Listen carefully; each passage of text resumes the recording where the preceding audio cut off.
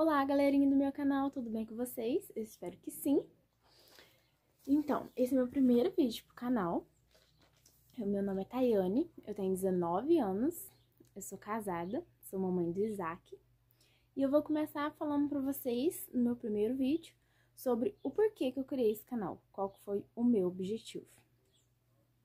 Então, eu, o meu objetivo com esse canal é gravar para vocês muitos vlogs, é gravar, compartilhar com vocês minha gravidez, compartilhar meus diários de gravidez com vocês. Quando o Isaac nascer, se Deus quiser, eu vou estar continuando gravando aqui. É, quero gravar para vocês tudo sobre o comecinho da gravidez. Eu espero ajudar muitas novas mamães que vêm por aí, as que já é mamães, para que a gente possa compartilhar também, que eu possa ajudar e também aprender com vocês. É, quero compartilhar também sobre receitinhas que já me pediram. É, já me pediram também para gravar para vocês aqui pro canal trollagem com meu marido, fazer trollagem com o Luan, pretendo muito. Já aceito dicas aí, viu, gente? E então, é, por que, que eu criei esse canal? Eu criei esse, eu resolvi criar esse canal eu sempre achei muito interessante as meninas que têm canal, que grava vídeos, que grava vlogs, grava dia a dia. Acho muito legal isso, sinceramente, gosto muito, eu vejo muito. E depois que eu fiquei grávida, eu vejo mais ainda, vejo sobre tudo. Vejo os vídeos de, de pós-parto, me preparando, sabe? Vejo vídeo de mala maternidade, quero fazer pra vocês também. Vejo vídeo de como lavar as roupinhas, de tudo, gente, tudo. E eu gosto muito, sério, todo dia eu vejo. E então eu resolvi criar corais para vir fazer para vocês também. Sempre tive vontade, mas nunca tive coragem. E então eu vim aqui. É, no, nesse, eu comecei a criar esse canal, resolvi a ideia de, desse dia de fazer o canal, gente, nessa pandemia. Porque, nossa, tá sendo muito difícil, muito complicado. Eu sei que não é só para mim, mas sim pro mundo inteiro, né, que tá passando por isso. Mas tá sendo muito difícil, gente, ficar em casa. Nossa, ainda mais eu, que sempre fui uma pessoa que nunca parou em casa, que sempre tava ali fazendo minhas coisinhas, sabe? É, sempre tava ali correndo atrás do meu, do meu dinheiro. Nossa, e agora a gente não pode sair, não tô trabalhando, tô só em casa. Agora tenho que cuidar do baby também, né? Não posso pensar só em mim. Tenho que pensar também dos meus avós, que são meus vizinhos aqui, nas pessoas que é, são mais difíceis, né? Poder lidar com essa doença. Cada Deus me livre isso chega, mas eu creio que isso não vai chegar a nós. Eu creio que Deus vai nos proteger, mas os planos de Deus não são os nossos. Eu creio que Deus tem um propósito para isso tudo e isso logo um dia vai acabar. E mais enquanto isso, a gente tem que se ajeitando, né? tem que se ajeitando no dia a dia, nas tarefas, e eu não tava sabendo lidar com isso, gente.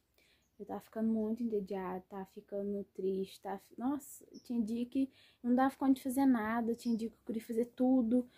Então, eu resolvi, tava pensando, o que que eu posso fazer para mudar um pouco a minha rotina? O que que eu posso fazer para mudar um pouco o meu dia a dia? Aí veio na mente, por que não criar um canal? Para poder falar com vocês, para poder me distrair um pouco, né? E aí eu resolvi criar esse canal para vir falar com vocês. Porque eu não tava dando conta, gente, de ficar em casa. Não tava. Tava ficando muito estressada. Às vezes eu chorava, chorava sozinha do nada. Eu falei assim, gente, eu não posso deixar isso acontecer, né? Eu tenho que dar um jeito de mudar isso. Então, aqui estou eu. Se vocês gostaram do vídeo, se inscreve aí, já deixa seu like, tá? E vamos lá. Eu vou, o foco desse vídeo vai ser sobre diário de gravidez. O que já me pediram e eu acho legal o primeiro vídeo eu fazer sobre isso. Gente, eu estou grávida. Eu estou de 25 semanas. Hum, não sei muito lidar com isso, sabe? De semanas e meses e tal. Mas vocês me ajudam aí, vocês me corrigem se eu estiver errado. Eu acho que é seis meses. Eu vou falar para vocês quando eu descobri a minha gravidez. Então, eu não tomava anticoncepcional. Eu tomava antes, eu fiquei um ano sem tomar anticoncepcional. E antes, quando eu tomava, eu tomava tudo errado. Um dia eu tomava, outro dia não tomava. Um dia eu tomava na hora certa. Aí depois de dois dias eu ia lembrar que eu não tomei, aí eu tomava, sabe? Era um rolo, gente. Aí, e em 2018, eu resolvi parar com anticoncepcional. Falei assim, ah, eu não vou tomar isso não. Final de 2018, eu parei. Falei assim, ah, eu não vou tomar isso não. E na hora que for da vontade de Deus, vai, se tiver de acontecer, vai acontecer. E aí aconteceu. Depois de um ano sem tomar anticoncepcional, é, foi em dezembro. Em dezembro a menstruação veio certinha, mas veio dia 6, dia 7, se eu não me engano, comecinho do mês. E aí foi a última. Depois disso não veio mais. E aí chegou janeiro, eu fiquei esperando, porque sempre foi desregulado, minha menstruação nunca foi regulada. Nunca foi ali, ah, tal dia vai vir, eu sei que vai vir. Eu acho muito legal essas meninas que tem uma tabelinha, que segue alguma coisa, ah, tal dia vem, tal dia vem. Não, gente, eu nunca esperei, porque eu nunca sabia que hora que ia vir. E todo mês eu ficava com medo, né? Porque aí o medo de vir num momento que desproporcional, né? Mas aí, graças a Deus, isso não aconteceu. E aí, janeiro, eu fiquei esperando e nada. Fiquei esperando começo do mês, fiquei esperando até dia 15, nada. E sempre vi assim, ou no comecinho ou na virada do mês, sabe? Aí fiquei esperando nada, e dia 15 nada. Aí chegou dia 30, nada. Então foi um mês já, praticamente atrás, nada, né? Aí foi no dia 30, a gente foi no centro, eu com o Luan. E eu falei pra ele assim: ah, é, vamos passar na farmácia pra comprar um teste. Não, nem falei que era teste. Falei, vamos passar na farmácia pra comprar um negócio que eu preciso. Mas nem falei o que que era, porque eu tava assim, meio com medo, sabe? Porque dessa vez parecia que o negócio era sério mesmo. Eu tava sentindo que era. Aí nós fomos. Chegou lá, eu peguei o teste. Aí já viu minha cara, né? Aí ele falou assim, por que isso? Eu falei assim, ah, eu vou comprar, porque não sei. Minha estação tá atrasada, não veio ainda, eu vou comprar. Aí né, comprou. Aí chegou em casa e não queria comprar, gente. Porque falou assim: ah, não, não vamos comprar agora não, vamos esperar mais um pouco. Porque se não for, a gente vai comprar aquela expectativa de ser. Que a gente sempre sonhou ser pai, sabe? Sempre sonhou ser pai e mãe, sempre esperou o Isaac, mas tipo, não nesse momento agora. Mas Deus mandou agora. Mas não é uma coisa, não foi uma gravidez planejada, mas foi uma gravidez esperada. Nós sempre quis, mas não planejou para acontecer agora, entendeu? E aí ele falou assim: ah, não, deixa mais pra frente e tal, porque se não for, a gente vai fazer aquela esperança. Eu falei assim: não, vamos, vamos comprar, vamos fazer. Eu tô sentindo que eu tenho que comprar. E aí eu comprei.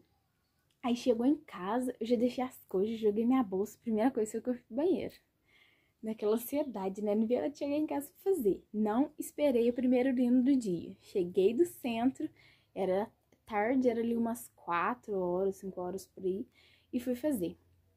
Aí eu entrei no banheiro, nem falei pra que eu ia fazer, já pegou o teste e entrei banheiro correndo. Aí fiz, gente. Quando veio, eu coloquei, eu comprei esse daqui. Não tem a caixinha dele mais, mas esse daqui, ó. Esse daqui que vem aquelas duas listrinhas, sabe? Que você coloca assim no potinho, e aí parece. Aí eu fiz, eu já fiz muito desse, gente, porque por causa da minha, minha menstruação ser muito desregulada. E sempre deu negativo, né? Nunca tive problema. Não, não que isso seja um problema, mas nunca deu isso. Aí eu fiz, coloquei lá, né? Quando vê, subiu um pontinho. Aí tá. Aí meu coração já começou a acelerar. Aí quando vê, subiu outro. Aí eu fiquei assim, ó. Fiquei olhando pra ele, né? Tipo, não acreditei. Falei, assim, vou esperar um pouquinho. Vai que some. Aí não, gente, não sumiu. Aí ficou os dois pontinhos. Eu fiquei bobo, eu fiquei sem reação na hora. Eu falei assim, gente, não acredito. Será que é verdade isso que tá acontecendo? Dei até uma beliscadinha. Falei, gente, eu não tô sonhando, não.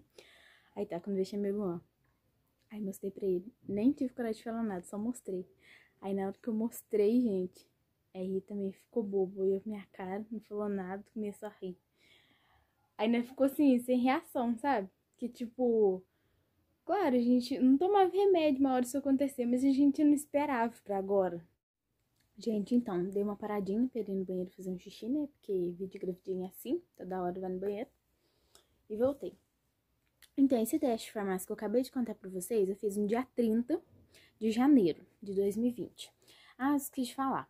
é, foi no finalzinho de novembro, comecinho de dezembro, é, eu, nós tivemos uma revelação de Deus da parte de uma irmã que passou perto de mim na igreja, botou a mão na minha barriga e falou assim que, que Deus estava mandando uma benção para nós. Aí na hora eu falei assim, misericórdia. Aí ela falou, não, que misericórdia, é uma benção, Deus tá mandando pra vocês. E passando a mão na minha barriga. Aí eu falei, amém, né? Tá. Aí acabou que depois a gente foi esquecendo disso e aí aconteceu isso tudo que eu falei pra vocês. E aí eu fiz o teste de farmácia no dia 30 de janeiro desse ano, 2020. E depois de uns 4, 5 dias eu fiz o de sangue. O de sangue que eu fiz na hora. Eu não entendi nada, né? O resultado. Aí eu peguei, abri, olhei, sim. Gente, não entendi nada, deu... Isso daqui, gente, ó. Aí depois que eu risquei aí nesse verde. Mas aí deu isso. Deu gravidez entre parênteses, mas eu não entendi se é porque deu positivo ou deu negativo. Não tem nada falando que é positivo e negativo, sabe? Só deu é, gravidez e resultado uma quantidade aqui. Aí a quantidade que deu era de 7 a 14 semanas. Aí, gente, na hora eu fiquei tipo assim, nossa, eu saí do laboratório, eu não sabia se eu, se eu chorava, se eu ria, não sabia o que eu fazia. Eu fiquei sem rumo de tudo. Porque sangue é confirmação mesmo, né? O de farmácia às vezes pode dar errado, mas o de sangue nunca dá errado. Quase nunca, né? Não sei. E aí eu fiz o, te o teste de sangue no dia 4, que deu entre 7 e 14 semanas. Aí eu marquei minha consulta. Os primeiros meses eu fiz no posto. Marquei dia 14 do 2, que eu fui fazer minha primeira consulta. Aí fiz, é, respondi as perguntas, tudo lá que tem que fazer. Ela fez alguns exames, porque no comecinho é, não tem muita coisa pra fazer, porque não tem barriga, né? E aí fiz os testes, aqueles testes rápidos que faz no posto, é, pra ver questão de HIV, essas coisas sim. Fiz o teste, graças a Deus não deu nada. E a doutora já pediu a minha primeiro exame ultrassonografia pra ver o baby. E aí eu tava com, nesse exame eu tava com 10 semanas. Aí foi eu, minha cunhada e o namorado dela. Aí, né, foi, né, Aí compramos aquele tanto de chocolate. Todo mundo socou chocolate boca abaixo, né? Socou boca abaixo pra ver. Porque tem aquilo, né, gente? Aquele mito que se você comer muito chocolate, criança abre a perna, você vê o sexo, né? Achou com 10 semanas já viu o sexo, né, gente? Eu não sabia que era 10, nós achou que era mais. Mas 10 ainda não dá pra ver sexo. Aí comi aquele tanto chocolate. E aí o doutor pegou e ficou falando, nossa, mas que criança agitada. Ele quase que ele não conseguia realizar o exame ali, de tanto mexer, de tanto chocolate que eu comi. Aí não deu pra ver o sexo ainda, mas tá tudo bem, graças Então, gente, então, gente, no começo foi mais ou menos isso. Porque no começo não tem muita coisa assim pra poder contar. Gente, nos primeiros, até eu fazer quatro meses, eu passei muito mal, muito mal mesmo. Eu não engordei um quilo durante, até eu fazer meus quatro meses. Porque de tanto que eu passava mal, eu vomitava muito. Eu bebia água, vomitava, comia, vomitava, almoçava, vomitava. Aí falava, ah, não, vou almoçar de novo porque eu tô com fome. Quando eu vomitava tudo de novo. E foi assim: tinha dia que era almoço, janta, café da tarde, café da manhã. Eu vomitava tudo, passava muito mal mesmo. Nossa, então os primeiros meses para mim foi muito difícil. Eu, eu vivia à base de remédio, mesmo assim, tomando remédio, eu ainda vomitava. E foi muito complicado. Aí depois que eu fiz os quatro meses, que aí graças a Deus parou. Eu não passei ma mal mais e comecei a engordar, né? Já tô ficando uma bola, olha minha cara redonda. Mas tá bom, é por uma boa causa, depois se Deus quiser a gente recupera. Eu vou falar um pouquinho pra vocês sobre os primeiros sintomas que eu tive. Antes eu descobrir que tava grávida e no comecinho também.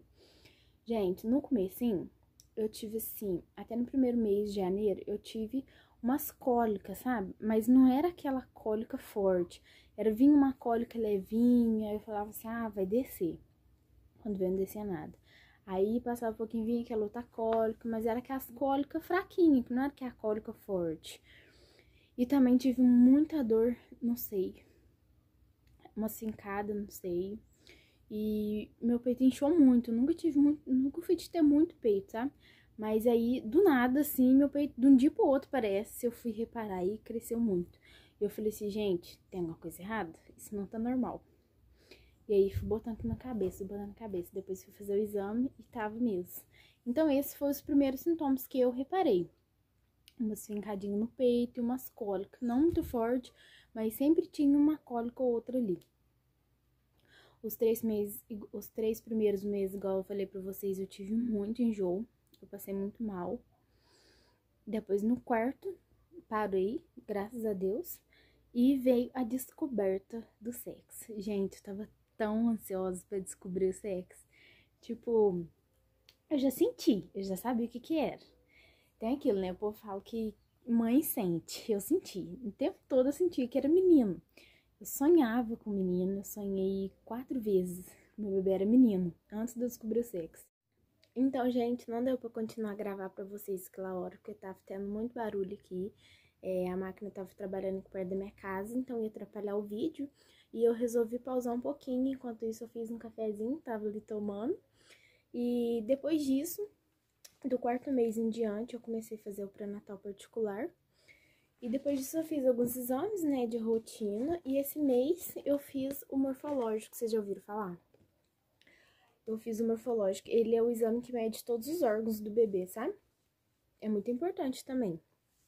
E por mais foi isso, gente, eu espero que tenha gostado. Se você gostou, curte aí, se inscreve no canal. E até setembro, até o Isaac nascer, ainda tem tempo de fazer vários diários de gravidez. Por mais outras novidades eu venho trazer aqui para vocês. O que vocês quiserem ver, é, eu vou deixar meu Instagram aqui. Aí vocês comentam lá, pede lá, comenta no vídeo aí o que, que vocês querem que eu mostre. É, eu quero fazer um vídeo do quartinho do Isaac também, que já tá quase pronto. Já tá o que? 80% pronto. Quero fazer um vídeo lavando a roupinha dele também, que até hoje eu não lavei, gente. Esse mês, se Deus quiser, eu quero começar já a lavar a roupinha, as coisinhas dele, pra deixar tudo prontinho. Eu espero que você tenha gostado. Esse é mais um vídeo pro canal. Deixe seu like e até a próxima. Tô brincando, acabou não. Os ansiosos vão ficar sem ver a melhor parte do vídeo. Mas eu quero pedir desculpa a vocês, porque ficou muito grande, gente. Ficou maior do que eu imaginava, maior do que eu esperava. Prometo no próximo fazer o menorzinho. Mas eu quero finalizar o vídeo aqui pra vocês, mostrando a minha barriguinha. Isaac tá crescendo, gente. Eu vou mostrar pra vocês. Olha aqui. Gente, olha que barrigão.